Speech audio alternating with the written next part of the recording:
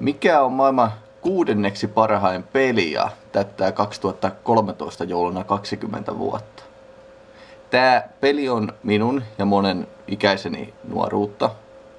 Sitä, siinä löytyy valtava määrä faneja ja tuhansia ja tuhansia fanien tekemiä kenttiä. Ja se on myös nettipelaamisen airut ollut aikoinaan. Monin peli lähiverkossa oli alun perin fanien idea, jonka ID Software sitten huomioi peliä kehittäessä. Doomia ei voida sanoa hyvämaineiseksi peliksi. Pienen moraalipaniikin katsotaan olleen hyväksi sen myynnille. Se oli markkinointikikka. Pentagrammeilla ja erilaisilla helvetillisillä hirviöillä yritettiin ärsyttää vanhempia. Ja jossain määrin se onnistuikin. Sillä kyllähän nuoriso aina pelaa jotain, jos se on vähänkin arveluttavaa. Omat vanhempani eivät huomanneet kyllä mitään tai puuttuneet. Sitä paitsi ensimmäinen osa oli ilmainen. Luokanvalvoja totesi yläasteella, että yleensä peleissä kielletään kopioita, mutta tässä sanotaan, että kopioi hullun lailla. Doom oli myös tehty muokattavaksi, eli siihen saattoi vääntää uusia tasoja ja ohjelmamuokkauksia vaikkapa kummelien äänillä saattoi pelata. Doom on osa minun nuoruuttani ja siksi varmaan siitä julkaistiin 2005 siihen löyhästi perustuva elokuva.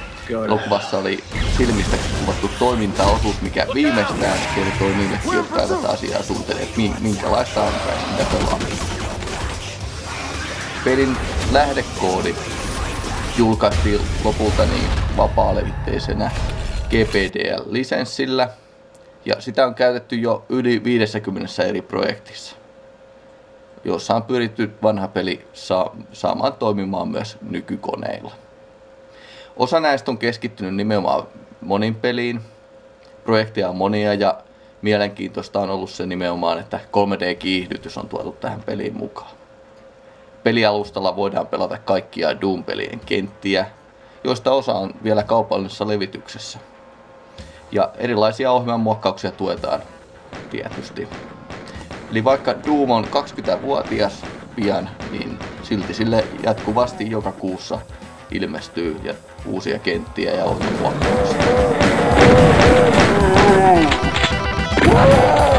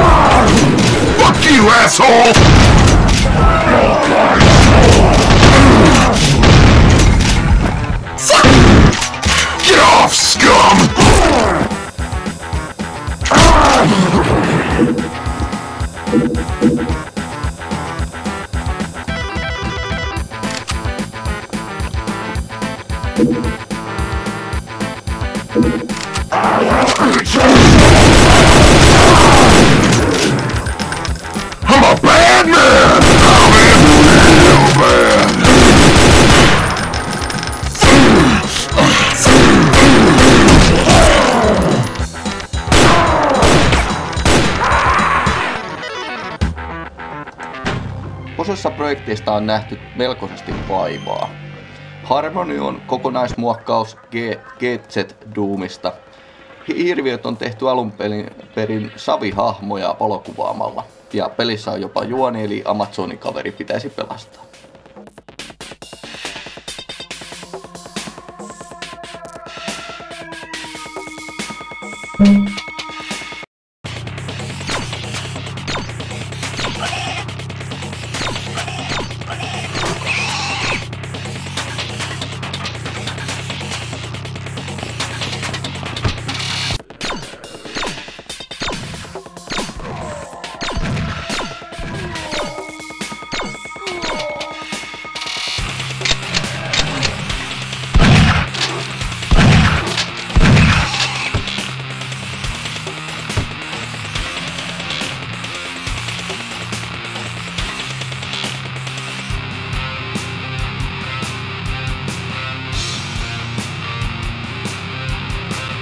Keremana kakussa on sitten suomalainen Doomsday.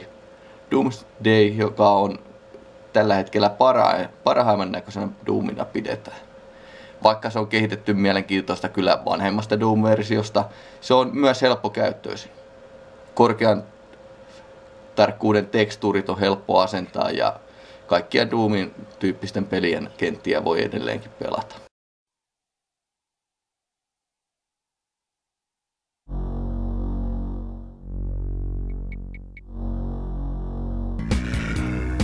Oh.